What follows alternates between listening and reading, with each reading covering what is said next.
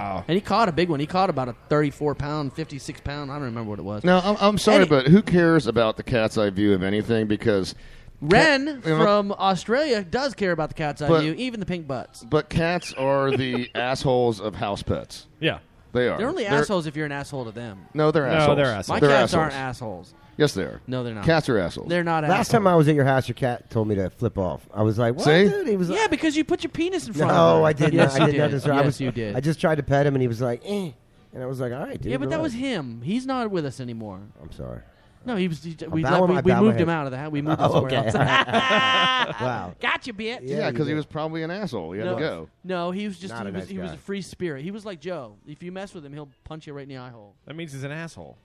But anyways, I, I, I saw a funny story or a funny video on YouTube the other day, and it was cats knocking things off shelves. Oh, but it was they- people. No, it was just cats just going swat, swat, just knocking anything over they could find. Just it was great videos. It was, hilarious. Have you seen the one? What if what if people were cats? And it has the guy. No, I haven't. It has the guy sitting on the t- like the desk by the computer, and he just goes like this. He waves his hand back and then knocks the glass off the table. Uh, it's, it's really really funny. It's worth the uh, worth the watch and listen. I can imagine. Do we have a little issue with the Behringer box? God, stop messing with the headphone splitter. I gotta mess with it because mine's. Keep shorting out my Mine's short. headphones. You need to calm down. There must be something wrong with this box. Wait, is Miggy telling me I need to calm down? Hey, how about it, what if I do this? That's fine. better. All right. All right. You fixed it, You're man. welcome, Good bros. I, I love it when you push in my box. Oh, hey. I teased this before the break, guys. Ah, yes, you did. The, your box. Um, back in ba- back in olden times, as people like to say. Fast gone seven years ago. Why did you sound like Jimmy Stewart when you Yeah, said that? well, it was actually that was actually Fast he. no, that was like Kennedy doing Lincoln. Four score. Oh, there Fast you go. gone Seven seven, years, years ago. ago. From Baden County Bunk Park. kind of monk pop. 460 million years ago. Oh, okay, way back. Jesus Christo. So that was Before- like uh, like three or four days before you were born. Exactly. Oh. Before the T Rex, okay. Okay. Uh, Earth, Earth's dominant predator, uh, before Toby, was actually uh, was actually a sea scorpion, according to scientists. It would have reached a length of five feet seven inches, so That's a a full huge bitch. full foot and a half taller than Sancho. Had a had a spiked tail and claws sprouting from its head. Apparently, back then. Iowa was covered by an ocean, and this thing Right, was right, uh, right, right. was indigenous to Iowa. Bless you. Wow. Well, I tell you what, I definitely would have had one. Like instead of a horse, I'd have been riding that because who's going to mess with you? Yeah, but you're riding the horse and then it pops you right in the back of the head with you, its you train it. you got to figure Train something it. out with it. Put a rope on it or something. Put a bird on it. Strap that stinger down. I Put a bird on it. So Ben, you said it was five feet seven inches. That's about what twelve centimeters? It. No, at one point it's yeah. No, that's about uh, about 18 centimeters. About 18? Okay. Because everyone knows, according to uh, when you're trying to measure Science. when you're measuring macaque, you know the monkey. Everyone knows that 1.6 centimeters equals eight inches. Yeah. So you use that as a sliding scale. That's the conversion. Okay. Yeah. Yeah. yeah, That makes sense. Well, it does. of That makes course. sense. It Okay. does. Yeah. I mean, I'm not letting either one of you guys build anything around my house. dude. That's all I'm saying, dude. I think you'd be like those those uh, Stonehenge things on uh, Spinal Tap. You're like, no, 11 feet. I said, not 11 inches. Anybody seen the movie? It would Yeah, be, it would dog. actually be thirteen point four centimeters based on that math. well, for five, they said five feet. yeah, right? one point six centimeters is about eight inches. Right? That- yeah, I guess so. I, I, I, I don't, I don't have my. Uh, just just go with it. I don't. All right, need, yeah, yeah, yeah, I, yeah. don't need a complex. sorry. Just go with it. Joe's a little new to this. Uh, yeah, I, I haven't heard this this yeah, new math. Yeah, yeah, one one point six. This is a new math I hear kids talking about, Yeah, right? Okay. yeah, it's- I- yeah, I don't- I What don't is know it? about What do they call that new math? Common Core math. That's that's what it is. Common Core, I don't know- Yeah. I don't Dude, really know. how badass would it be to clone one of these scorpions, domesticate it while you're raising Oh, it from infancy, and that is your your beast of burden. You're riding this thing. Okay, you know uh, that that chick that rode the the Barbie uh, motorized uh, Power Wheels on campus that you we talked be about per- you could be earlier. Perseus all over again. That's pretty badass. But imagine riding this puppy on campus. Let me see it.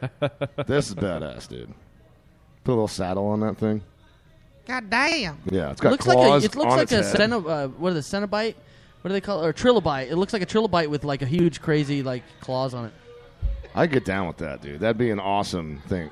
Uh, Domesticate that thing and ride it everywhere. Yeah, oh, I don't know if riding it might be tough because I don't know if they have the actual brain power to like train them like say a horse, but that you could definitely tie a couple up in your front yard. Nobody come messing with your house. You, You, just know take, what I mean? you You'd gotta take like- the tail and push it into its own head uh, in in Clash the, No, you just have to get like Clash a the Titans. like one of those big erasers off one of them fat pencils and just stick it on the tail. Have- just kind of bump you in the back of the head. Wear a helmet. You'd be like, hey, you be trying to sting you. You'd be like, have you gotcha, seen the, bitch. Have you seen the guys that go up in? The, you know what a harpy eagle is? It's the largest bird of prey, right? It's I mean it's huge. These guys got to go up in the trees when they're trying to film them, and they wear these huge Yeah. like cones around their head Yeah. that protect the because the claws will impale the back of their head. Right. So you'd have to wear one of those while you're riding the super duper scorpion. Well, if you had the thing. ra- if you had the if you had the eraser on there, you'd be fine. Yeah. the what? I so you take a big eraser off one of them big, you know.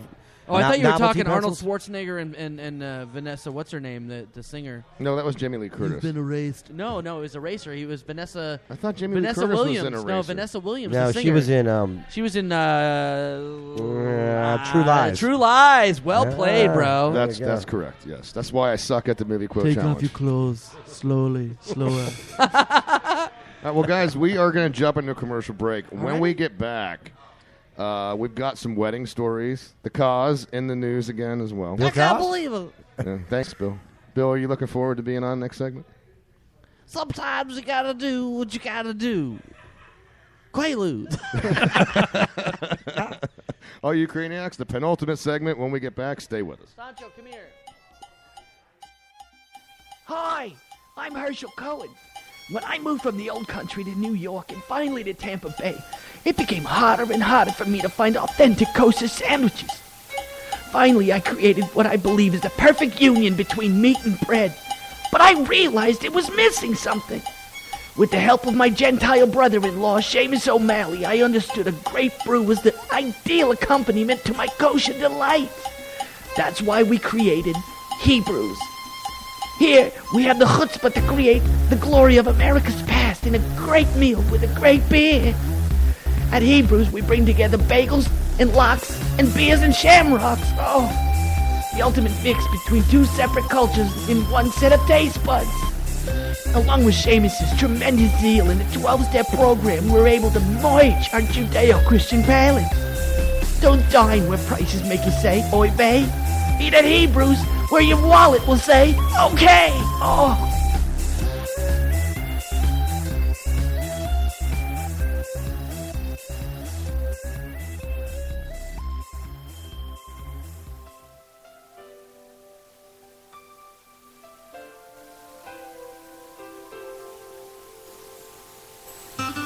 Do you feel like Mother Nature has made a mistake? Does your outward appearance differ from the person within? The Gender Reassignment Center may have a solution for you. Dr. Les Johnson is the leading expert in sex reassignment surgery. So if you suffer from gender identity disorder, why not call our office for a free consultation? Hi, I'm Susan, but I wasn't born that way. Dr. Les Johnson performed a vaginoplasty and Adam's apple shaving that would fool even the most sober of men. The recovery period exceeded my expectations, and the best of all, I don't have to grow out a thick bush to hide that unwanted scar tissue. Whether I want to go with a landing strip or a Brazilian, my vajayjay is a-okay. The Gender Reassignment Center offers affordable pay plans and can assist with relocation for those seeking a new start. So call us at 1555 New Unit to begin your transformation. Big Muffins! Yo, this Big Muffin. What'd you do? You get caught tripping? Miss Court? You got a warrant? Don't matter what you did. You got cash, Big Muffin's got your ass. Day or night, we'll keep your butthole right. Call 1555 Butt Right. Big Muffin's Bail Bond, servicing Greater Central Florida.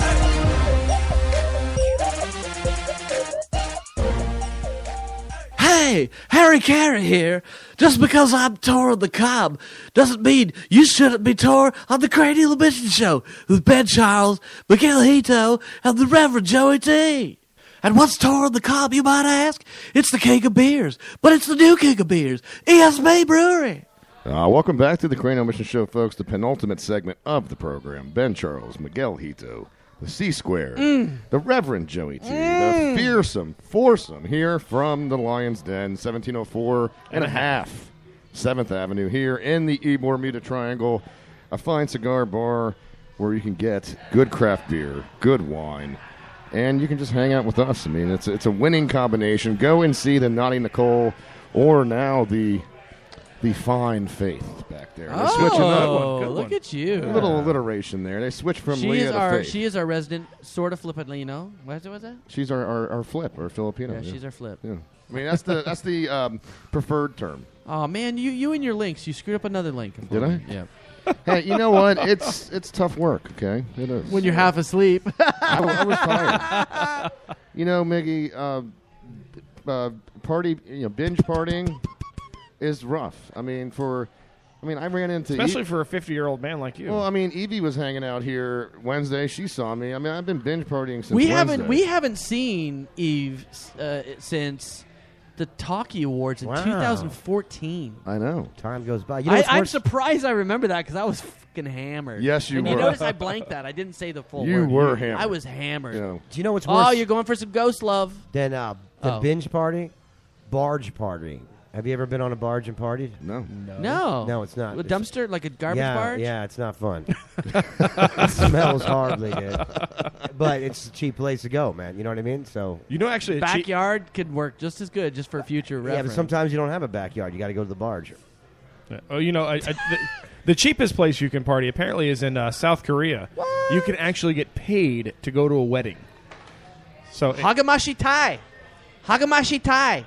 I did that story like two years, a, a story just like that a couple years ago, where you rent relatives. You Oh, can yeah? actually rent relatives No, for a but- party. But, that was uh, well. One of the stories we talked about in the past was in China. You could rent friends for your funeral.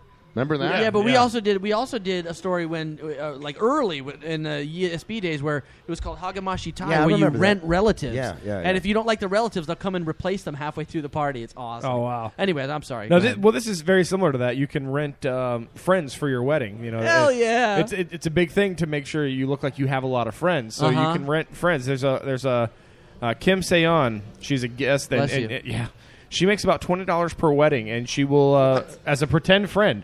She gets paid twenty bucks to show up and be a friend, and she'll do three or four weddings a day. Do you get And like you a do go you get like a and stuff? dossier before it happens? So you A know when you dossier. so you can be like, okay, yeah, we met in college. Uh, I mean, if you think about it, it's a good deal to get twenty bucks for the wedding because any good Food. wedding has an open bar. right, right, where did you meet? Where did you meet in college?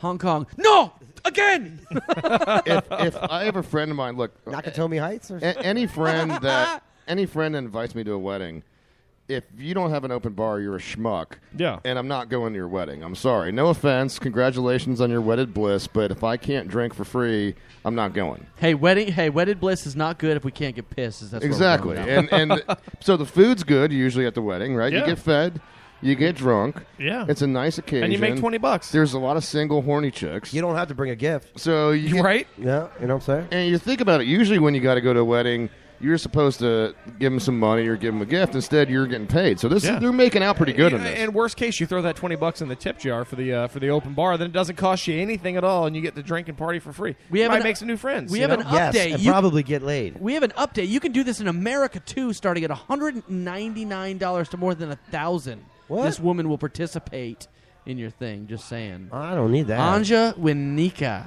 hundred ninety nine dollars for a thousand people. tie the knot. She will. She will get you. She will get you people to attend your wedding. Holy crap! oh, she's like a like a marketer or What something. a- wow. wow, that's, crazy. sad if you actually got to But do you know, that, the- you know, I Kinda. remember my wedding, and uh, I actually had to exclude people because you know That's what I'm thinking, right? well, it's just so damn expensive. everyone.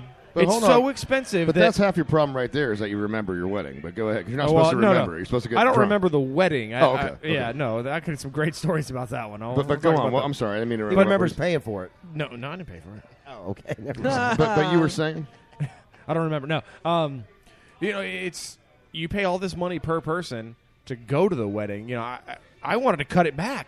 You know, hey, no, we don't need them here. We don't need them. And it got. I mean, we looked at it. We figured, okay, we got probably 150 people. That's no problem. Wow. we, we can we can have everybody there. When then we realized that 75 of that at least was just family that we had to invite. So we only had a friend list of about 75 after that. Well, then you start breaking that up into couples, and then, you know, it just starts adding up to the point where it was like, holy crap, we don't have, you know, we had to we had to exclude people that I felt bad for. So I can't imagine having to to provide more people to come to your wedding and pay for them to be there. How I mean, sad, pay them and pay for their, their meal and how, drinks. And how sad is it that you have to hire people because you don't have enough friends? And you got to figure that the no. pe- the people that are um, up for this, the ones that, that are throwing their hat in the ring to get paid for this. Yeah. It, look, I, have done some independent film work here in Tampa. Miggy, I know you have as well. I have. Uh, working with extras sucks to begin with. Extras are, are a pain in the